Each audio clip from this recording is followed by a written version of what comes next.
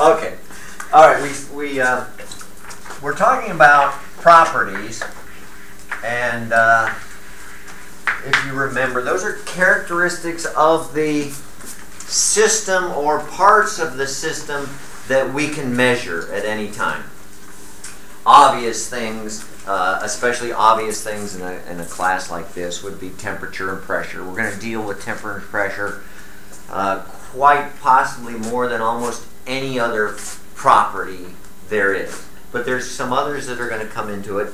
Uh, you might expect density would be pretty important, especially when we're working with fluids, especially when we're working with gaseous fluids, because uh, the density of those fluids changes markedly and, and uh, uh quickly and oftenly. Um, however, we won't deal with density as important as it. We'll deal with something, though, very, very similar to it, but it's just something that's more useful to us. I'll be that, that very, very shortly.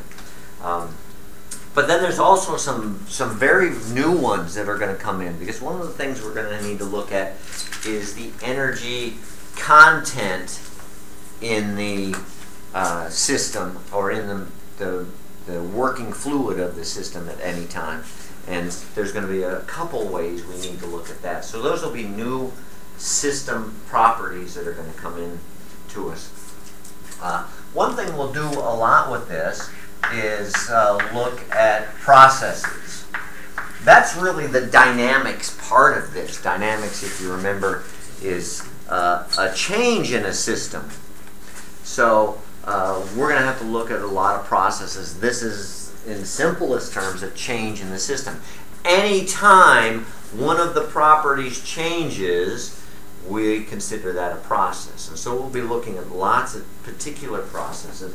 However, uh, they're, they're a little bit different in the way that we see them because if you remember, we had two types of systems we're going to be looking at. What were they? Open and closed. So in a closed system, uh, one of our simplest type of closed systems we're going to deal with is a very simple idea of a cylinder with a uh, non-leaking but non-binding piston. There's no friction in it, so it slides. It responds to the volume of the system very, very quickly and, and has no effect on it uh, because there's no friction there. But it also, since it's a closed system, none of the mass leaks out. Well, you know, you know where I buy these. Right? I get them from Earl at Ace. Yeah, he gives me these perfect pistons and cylinders.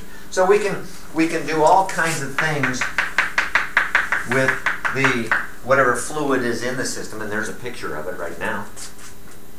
Um, we'll we'll heat it and we'll we'll push on the piston and we'll pull on the piston and we'll do all kinds of things and see to see what that thermodynamic system does. But it will start at one state and then we'll do something to it, pour in some energy, take out some energy, uh, lift or press on the piston or some whatever it is we need to do, and that will take it to another state, and that's a process. Simply going from one state to another by some means of us uh, uh, twiddling with that system by whatever we do. We might, oh, to, to, to make the, all the chemical students in, in here, we might put a little Bunsen burner underneath it with, with red flame. How realistic is that? See, it even looks more like a picture now, a photograph. It's actually blue. Since when is flame blue? the, the flame coming out of the Bunsen burner blue? This is, this is my Bunsen burner. Thank you very much. Some flames are red. The flames that come out of my my car well, when I accelerate. Really I don't want to argue. Golly. Oh, where was I? Okay, so so whatever it is we do to it, whether it's heated or cold or any of those kinds, it'll go from one state, which is a set of properties that define that system, that fluid at that time. And it could be, uh, it's at this temperature, this pressure, uh, but there's other things we'll look at as well that we need. And then it goes to some other pressure, some other temperature. Whatever. That'll be a process. And very often we'll actually graph it uh, some kind. We, we might actually look at temperature versus pressure or any of the other variables we're going to be looking at. And we know that we'll start at one place and by whatever means we'll get to some other place and that will be our process. Very easy uh, idea, I think, for a closed system. For an open system, it's a little different than that. Remember, an open system is where the uh, the volume we're looking at stays the same and we let mass flow through it. Whereas in here, we are letting the mass stay the same and we let whatever happens to it happen. That was a control mass system. An open system is a control volume system. So for example, we'll look at turbines, which in sort of a cartoony picture kind of look like that from the outside. Uh, and then down the middle of the turbine runs a shaft, and then on that shaft are vanes. So there's my little cartoon picture of a turbine. And what we do with the turbine is we squirt in high, very high energy fluid. Uh, usually that high energy includes high kinetic energy. Usually it's very, very fast. In fact, concerns in, in turbine design is to make thing, sure things don't go supersonic uh, at times. And that's all a matter of the properties of the fluid, including its velocity. So very high energy fluid comes in the small end of the turbine, starts hitting those blades, makes them spin, and as it moves through the turbine, it goes to successive blades uh, and imparts its energy, the energy from the fluid, into the energy of the blades, and then causes, of course, this uh, shaft to turn. Then we connect that to a generator or uh, a grinding wheel to do, grind our flour for the season, or whatever it is we need to do to that. The reason it gets bigger and bigger and bigger is because the fluid's losing lots of energy and starts to expand. So the fluid itself is getting bigger and bigger and bigger. Its volume is, its density is going down. And so we need to make the turbine bigger to have room for it. And then out here, squirts uh, fluid that may be quite spent. Maybe uh, you even just take it and dump it, uh, or maybe you take it and run it back through the system, reheat it, re-energize it, repressurize it, whatever it is we do. To talk about all that stuff, and then run it through the system again. Uh, we won't use that for the drawing. Typically, when we get to turbines, we'll just draw that to make it simple. Uh, a compressor is essentially a turbine run backwards. We put a motor on the shaft, run it like that, pull in low energy fluid, pressurize it, energize it, and out comes compressed fluid then. Uh, that's basically what a what a, a, simple compressor, a type of compressor. But anyway, uh, as an open system, and the process that we'll look at for that is we'll know something about the fluid that comes in and the process that fluid undergoes is this whole business such that it comes out at some other state. And that will be the process we look at for the turbine. We'll have things to study that happen to this the fluid as it goes from state 1 to state 2. For example, a lot of the energy comes out In fact, that'll be in, in the form of work out of the turbine because that's what that's why we run turbines. So they'll do work for us. That work generally being running a generator. But uh, turbines can be very hot, so there might be heat loss as well, uh, or they might be insulated. Those are all the kind of things we're going to have to look at because those are all things that affect what happens, uh, affects the size of that W. You know, uh, for for the cost it takes to get the fluid to point one, which is highly energized. Often it's very, very hot, moving very, very fast. That costs money to get there. If you want this turbine to produce work, you want it to produce as much work as possible. So you want a greatest difference between these so you get more work out. You also want fewer losses anywhere else. You want to reduce the friction losses. There's a huge engineering effort that goes into designing turbine blades absolutely, uh, GE spends billions of dollars in their turbine business designing and manufacturing those turbine blades. It's incredibly important simply to get more work out of the system from what's available going in. So that'll be the type of process we look at in an open system, just the difference between the inlets and the outlets in terms of what the the state of the fluid is.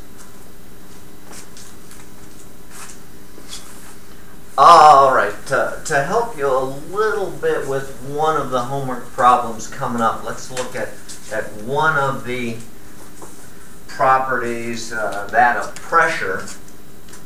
Uh, it's not done so much this way anymore, but it, it still is, and that's the, the pressurization and the pressure measurement of a fluid, maybe in a tank of some kind, by the use of what's called a manometer. And that's just simply a tube attached to the tank. So if we have a, a tank here that's maybe uh, contains some kind of gas that we want to uh, possibly want to pressurize, but maybe we want to just store it. We don't want to lose it. And we want to know what that pressure is, because if you don't know what that pressure is, you can't make sure that you have a tank that can take that pressure. For those of you taking strength of materials with me, uh, we'll be looking at designing pressure vessels in a couple weeks. How do we make sure a tank is strong enough to hold whatever pressure is in it?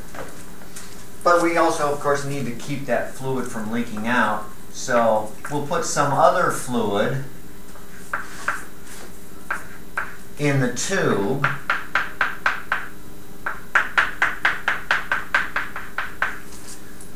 with which the, two, the fluid in the tank is immiscible. Does that excite you chemistry students, that word? Does everybody else know what that means? Huh? I was going to ask if everyone else knew it. Yeah. I guess they don't. Let's just laugh at them. What's immiscible mean? Yeah, they don't mix. So uh, uh, it's very typical for oil to be used in the manometer tube because oil doesn't mix with too many things. If we're storing, if we have water in there, uh, oil mixes. Uh, oil is great in the tube because oil and water don't mix. Everybody, your grandmother knows that. Not as common anymore. It used to be very common to use mercury, but mercury is a toxic substance, so they're using other fluids. But we look at the height of the interfaces of this fluid in the tube and use that to tell us what the pressure is in the tank. And we have a, a homework problem that does just this. Uh, it just happens to use two fluids through the tube but the ideas are very, very similar. So we can figure out what the pressure is here in the tank based on nothing more than the difference in height, well, based on a little bit more, but basically uh, just the difference in heights, which of course makes this very easy to, to set up as, as a meter. In fact, these are called manometers.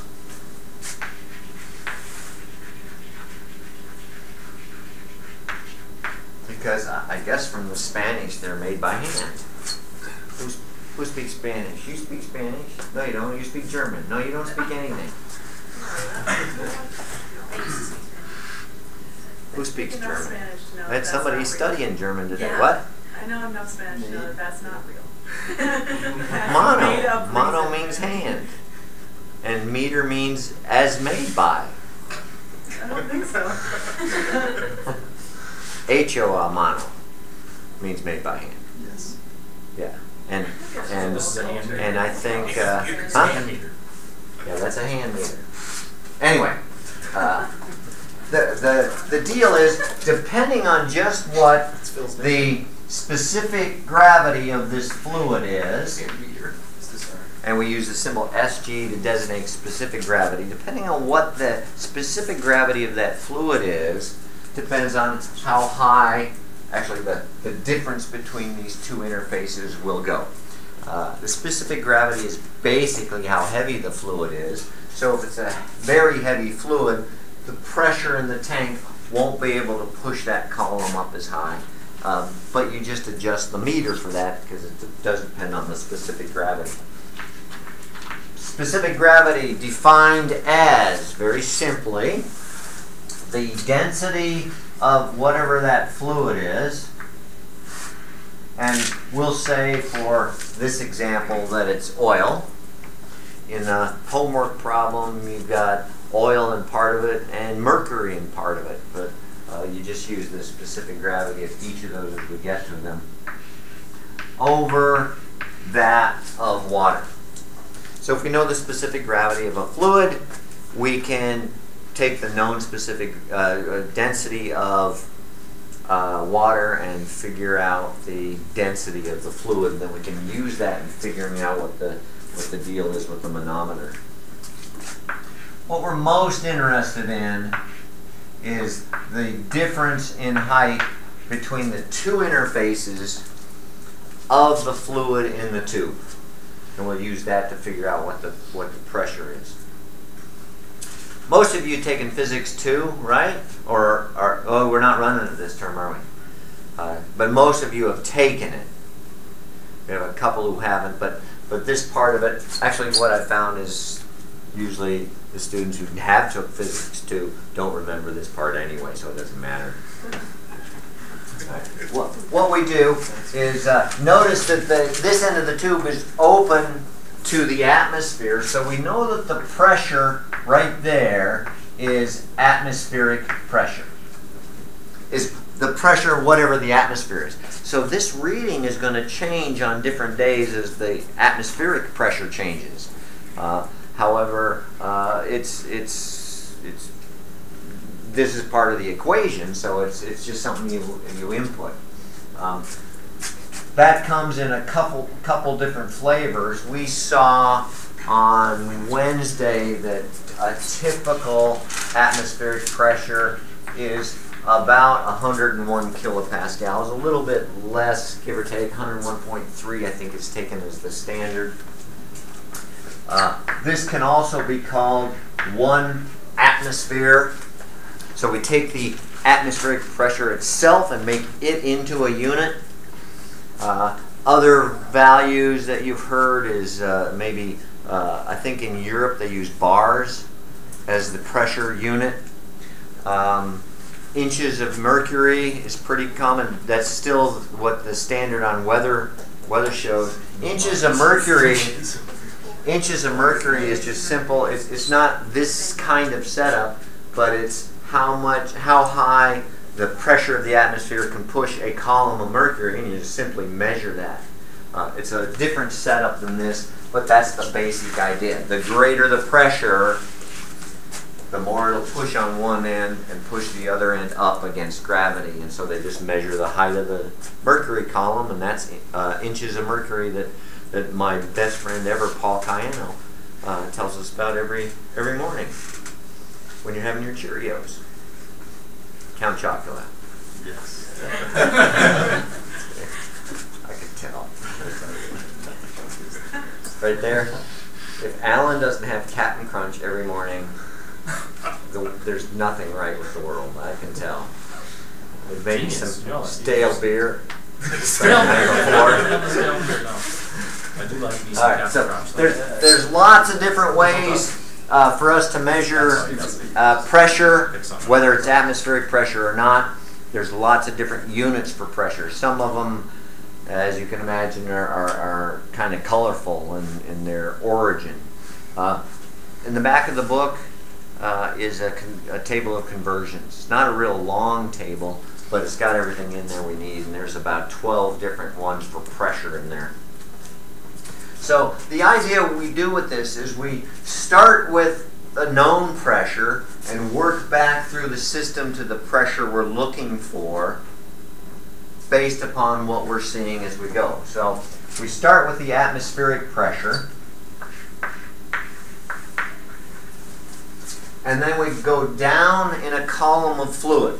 And for those of you that took Physics 2 and actually paid any attention, you know that the pressure increases linearly as you go through a, a liquid uh, uh, a liquid height. How does the, the pressure change linearly? It's rho, rho g. So it's increasing, so we'll add this to the atmospheric pressure. So it's rho, uh, the density of the fluid we're going through. In this case, it's the oil. But we can get that from the specific gravity of the oil that was, oh, well, I'll give you that value. Let's say it's 1.6. Rho G. And then the height of the column, or uh, generally we look at it as, as depth. If any of you scuba dive, you know you're, you're intimate with this, that as you go down uh, deeper, get the pressure goes up and up and up, and it goes linearly um, by the depth you're going. So uh, we go all the way down to here, and then come back up to here.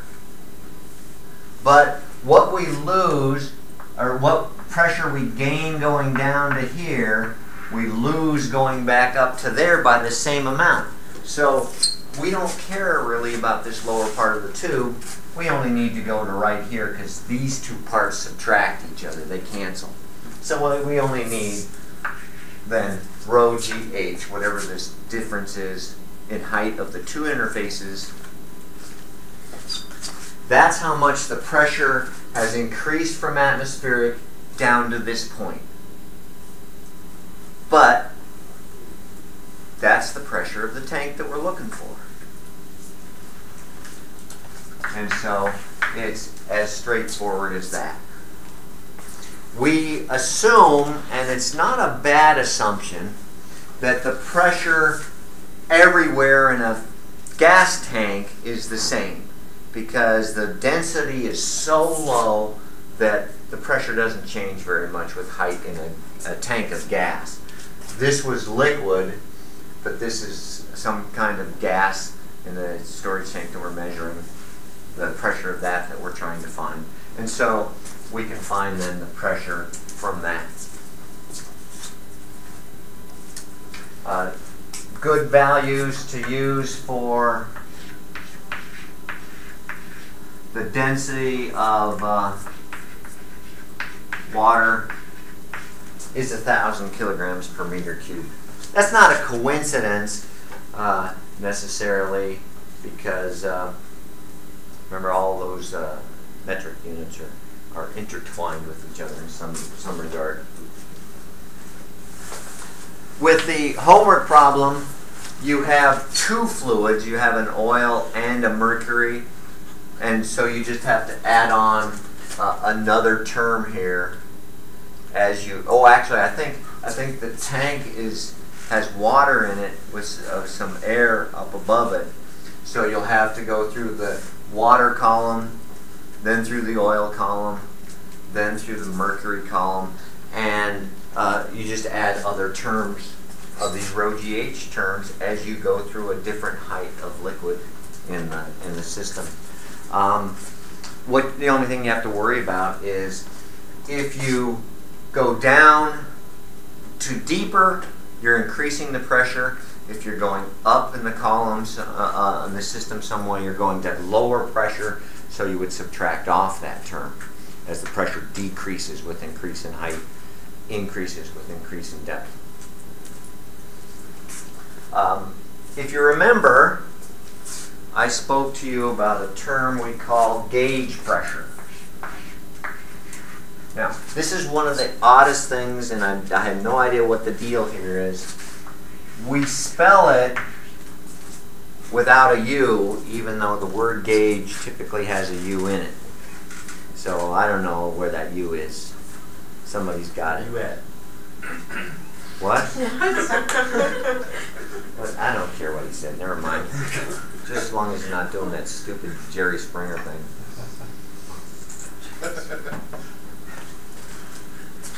This is the pressure now in the tank. Is that gauge pressure or absolute pressure? If you remember,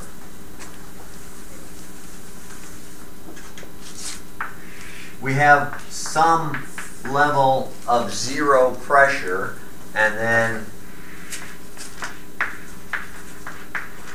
somewhere above that, in fact, at 101 kilopascals for one atmosphere, or I think it's 760 millimeters of mercury, we have our atmospheric pressure.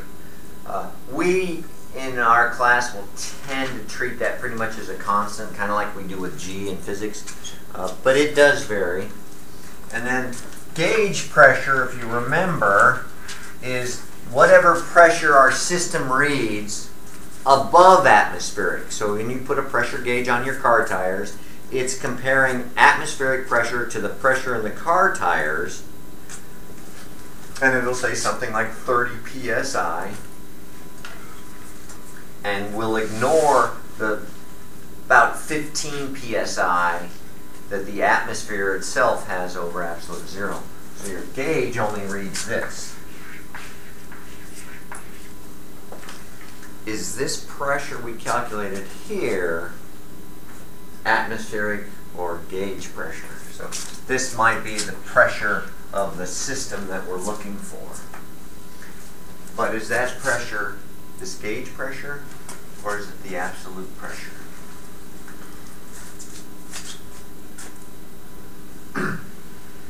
Here's a clue for you. See if this helps any. Let's take this equation where we found that pressure and rearrange it a little bit. Let's do P, we'll take the P atmosphere over. And so I have that equals, and then it'll be the rho GH left over. Just a little algebra. Now I have P minus P atmosphere. What is P minus P atmosphere on this little chart? That's the gauge pressure. So now I have the gauge pressure. Because remember, it's the difference of the pressure of the system compared to atmospheric. And so that's what we have there. So this is the absolute pressure of the system that we calculate with that uh, with that manometer.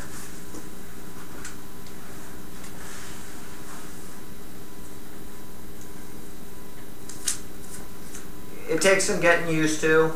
Um, I find just from not having taught this for a couple years, I get rusty with this stuff. Uh, just get less familiar with it when you don't use it for a couple years, and so you haven't used it at all. So you're really rusty.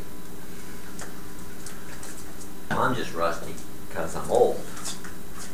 I heard you nodding again. now you're rude. All right. Let's uh, talk about a couple more things, and we'll do a little bit with ease, and then we're done for for a big weekend.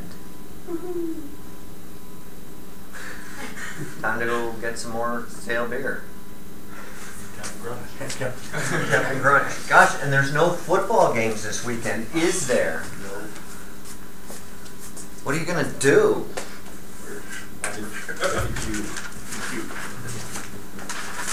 do homework for me. Damn right. All right. So let's uh, let's go back to these properties a little bit. If you're not getting the idea yet, you will soon. They're pretty important for us. We're gonna have to pay a lot of attention to these. Now, uh, in this class, there are two basic types of properties. They they uh, they don't uh, they're very closely related to each other, but they don't mix and match. And what I mean is, uh, in in an equation where we have a couple things putting together, like we were adding pressures in that equation we just had, uh, you've got to add the same types of properties to each other. And if you have uh, one property equal to another, they have to be the very same type of property. We really only have two types. They're pretty easy to tell apart, both in concept and in the notation we use. One type of property uh, are properties that are additive.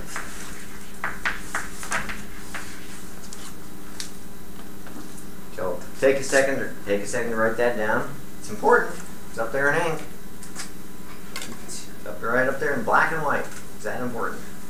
Uh, properties that are additives. For example, volume. If I have uh, uh, one quart of this liquid and one quart of that liquid and I put them together, I've got two quarts. Volume is an additive property. So there's one good example. Um, sometimes when we need to, uh, we get a couple V's in here. You're going to have to be very careful with the V's. We got at least three we're going to need through the course. So I typically will try to put a bar to mean volume.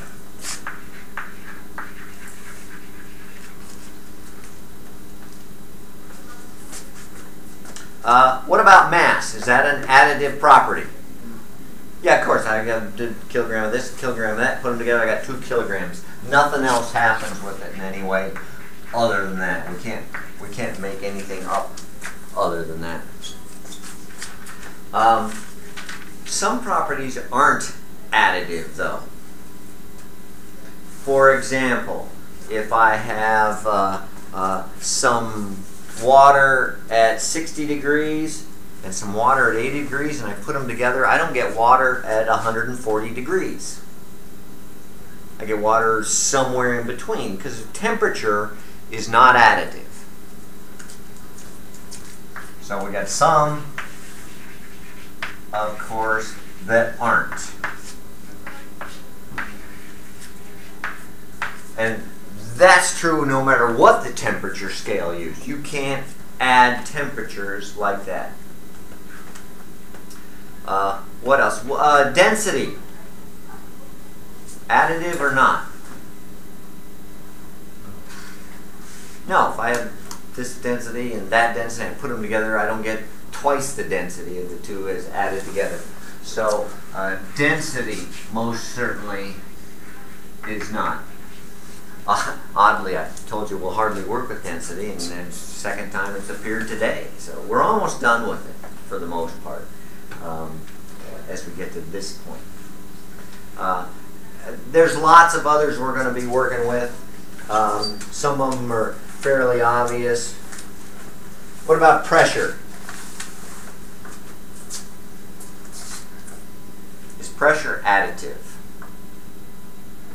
If I have a fluid at two pounds per square inch pressure and one at four, and I put them together, do I get a fluid at six pounds per square inch?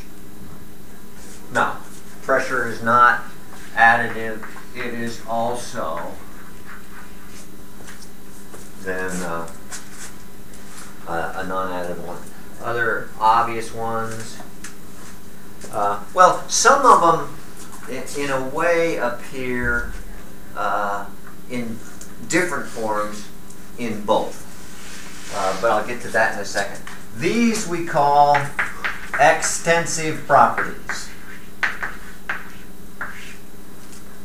Extensive properties are those properties that are additive in nature. Probably the two biggest ones being volume and mass. I don't know. Well, yeah, there's others. There's others. Um,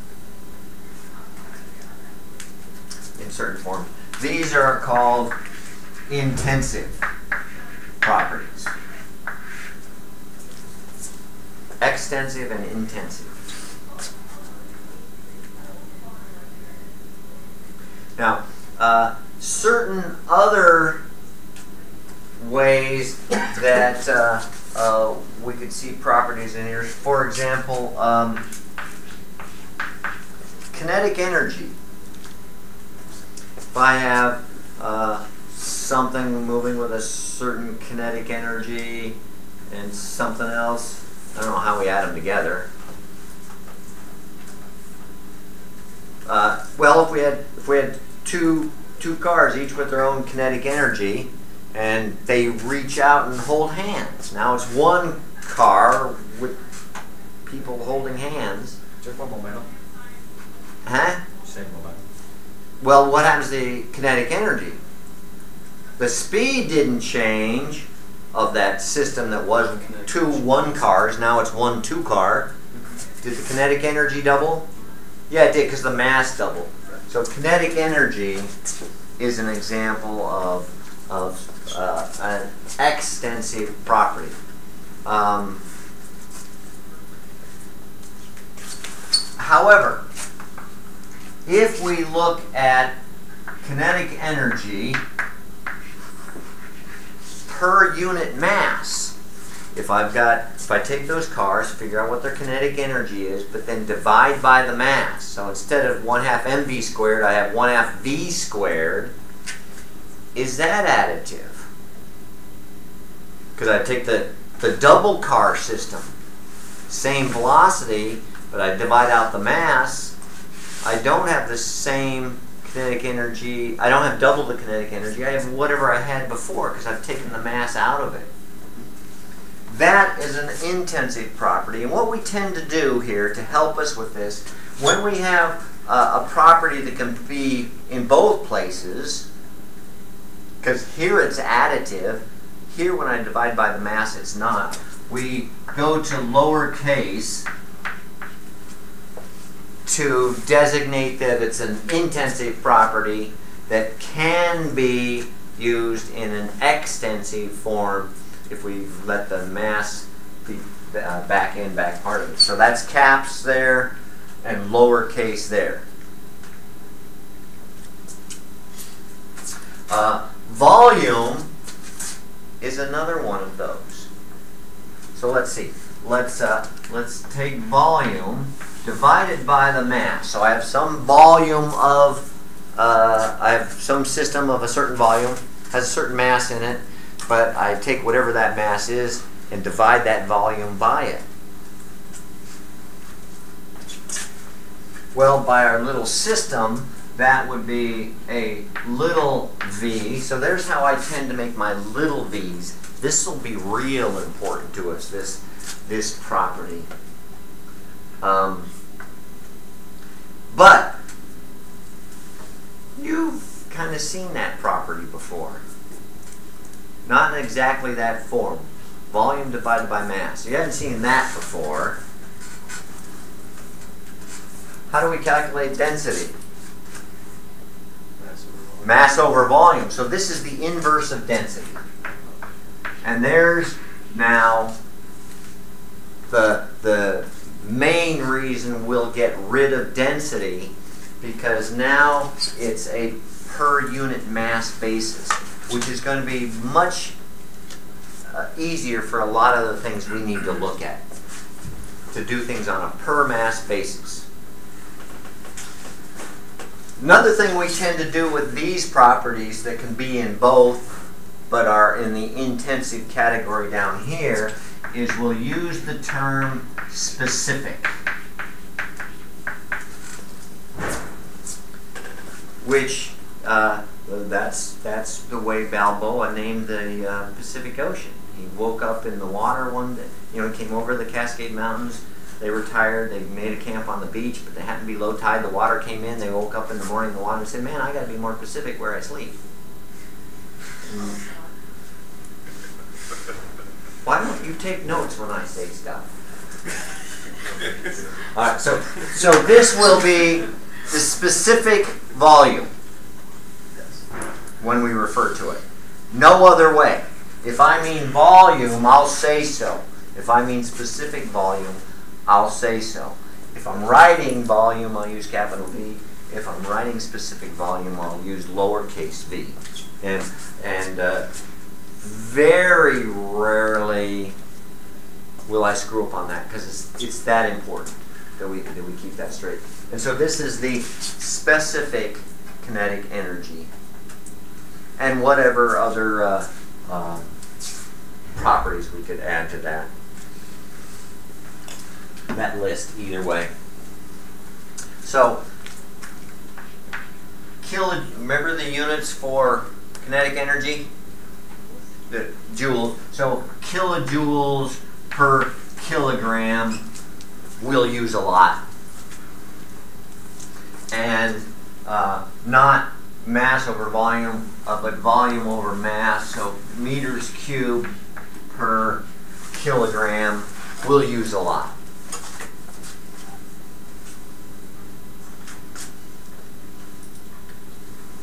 And so we'll be looking at processes where maybe we're looking at the extensive properties, maybe we're looking at the intensive properties. Uh, it depends on what we want to do with the process, what we want to do with the problem, which we'll use. But we'll be very clear which it is. Because of this, you can't mix and match these in an equation. Uh, just use one kinetic energy here and a specific energy over there because we can do this too with, with specific uh, potential energy, gravitational potential energy. You know, the units won't work now if we're not careful with those. So we don't mix and match these properties other than by dividing by the mass.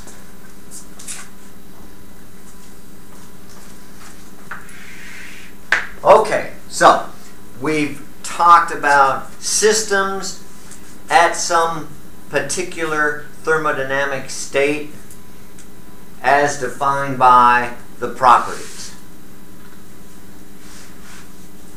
That leads us to what's called the state postulate.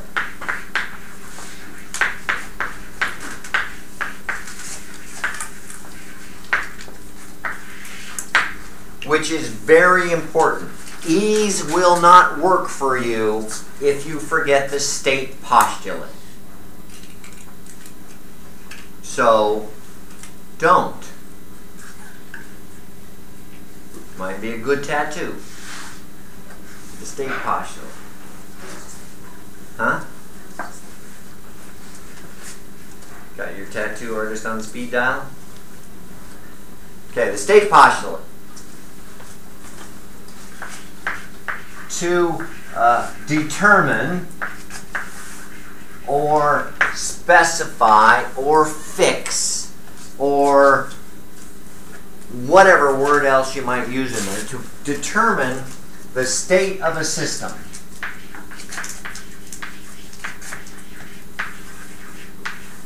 And don't worry. If you don't like the wording, you can change it a little bit before you get your tattoo. But once you've gotten your tattoo, you're not going to want to go changing the wording. So think about this. To determine the state of the system, we need, and by the state of the system, that means we don't know uh, just some, we know all of the properties that we could possibly need to know. If I, if I know the state of the system, I'll know its density, I'll know its pressure, I'll know its temperature. It'd be useless to us in this class if we didn't know those things when we're talking about the state of the system. We wouldn't know what the state of the system is if we don't know where it is, what its properties are. We need at least two. That means one won't work, but three will. we need at least two intensive properties.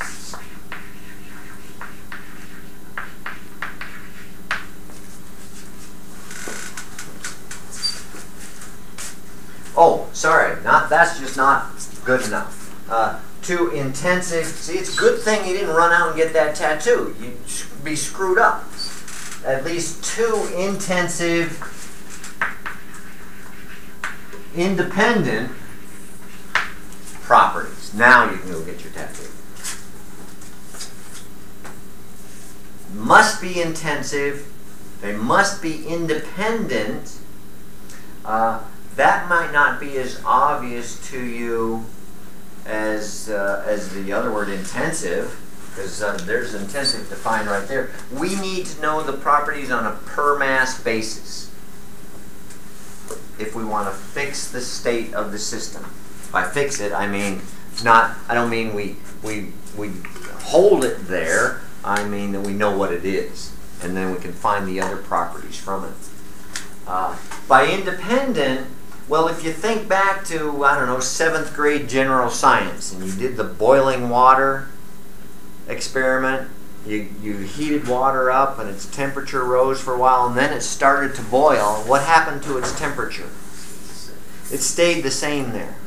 Now, the water is undergoing a process there because a lot of it's turning from liquid into gas, but the temperature and the pressure were never changing when a when a liquid is boiling, temperature and pressure are not independent. So when a liquid's boiling, we can't use temperature and pressure to specify the state of the system because they're not independent there. The temperature of a boiling substance is determined by the local pressure. Did you find that out when you went to Colorado? Didn't it seem like the coffee was cold? Didn't it? You don't drink coffee? No. Hot Tea? Hot chocolate? Didn't it seem cool, too cool? Cooler? I know when when I moved from Colorado down to sea level at Oregon, I couldn't. Um, the, the t- coffee was so hot; it was hard to drink because of the greater atmospheric pressure. The boiling temperature went up. Excuse me. Are you implying that you drink your coffee at boiling temperature? It's Yeah, close when it comes out of the per, the coffee thing. That's that's that's how coffee pots work. They boil the water. What is your? How do you make How- how your do you- coffee? I mean, are you actually? How do you? No, but it boils. How do you know? Is what I'm saying. One's colder than, and they're both too hot to drink. No, but as soon as no, no, no, Co- coffee at at at her her Russian princess condominium in Vail. it's it's markedly cooler. So, like, It's, it's it's you know it's it's it's easily the difference between having black coffee here and putting in some cold cream. It the temperature drops significantly. Just to boil the water? Huh? To to boil it at the temperature as much as Yeah. lower? If you go to if you go out to the space station, 220 here. What is it? 180 there. uh, two well it's two twelve here. 212. It's it's it's like one ninety eight or something there if I remember. I don't remember exactly because I don't go back there Yeah. Yeah, it's that's all this shit. because I hate that place. The coffee's cold. Um, uh, if you go to outer space, and, and my my uh, my stupid brother-in-law tried to do this. He wanted to do this experiment, so he started to roll down the window on the space station. But luckily, the commander said, "I don't think you want to do that." But at zero, at, in outer space, where there is no pressure, the boiling temperature is essentially zero. It just flashes to, to, to gas instantly. So when you when when you go through that open window that my brother-in-law opened, You go through it. uh, you, you essentially boil to death. It's not temperature boiling, but you're uncomfortable because now all you, all your blood turned to uh, blood vapor. Which is lots bigger, so you blow up. It's a, it's a, it's a mess. I don't remember if it, if it In case- in case- see, now I now I see who's writing that down as oh good ways to murder people. Uh, first, buy a space station. Second, I think it was one you gave us like a, a little extra sheet or something that talked about that. Because there was like an astronaut who was. who did? I think it was you.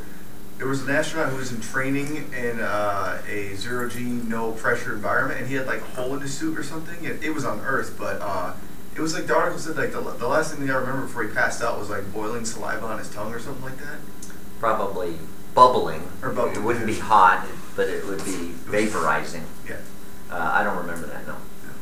Sounds too gruesome for something I'd read.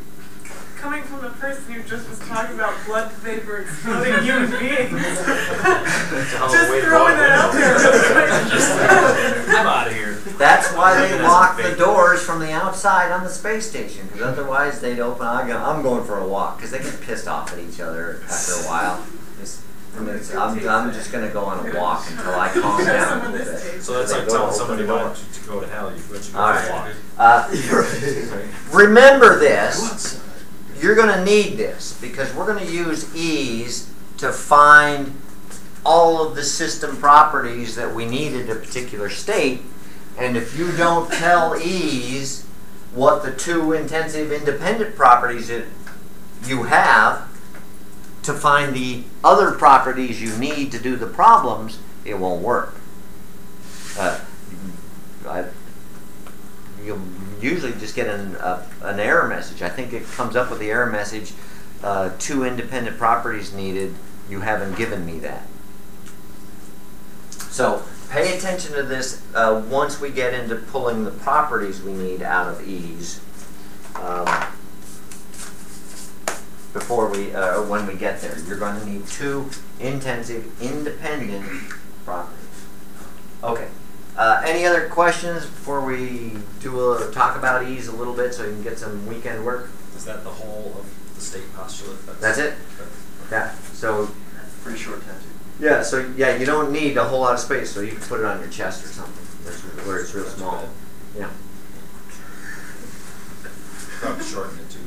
You you you could get more because you have a big chest. You can get lots lots of tattoos on there. You can get mother and a, a ship. I love my And, may, and then you can do that thing with your stomach so the ship goes. All right. Anything else before we?